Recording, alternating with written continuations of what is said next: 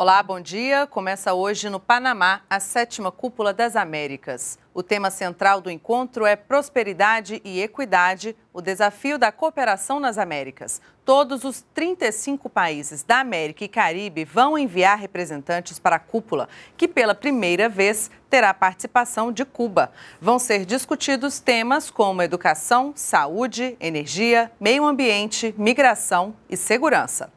E a presidenta Dilma Rousseff vai participar do evento. Ela chega ao Panamá no início da tarde desta sexta-feira. O repórter Paulo La Sálvia está na capital panamenha e traz as informações sobre a cúpula.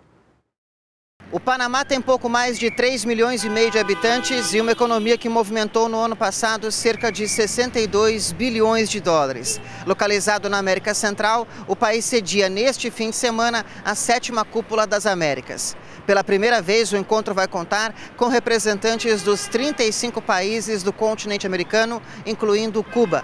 A presidenta Dilma Rousseff confirmou presença no encontro e chega aqui na cidade do Panamá nesta sexta-feira.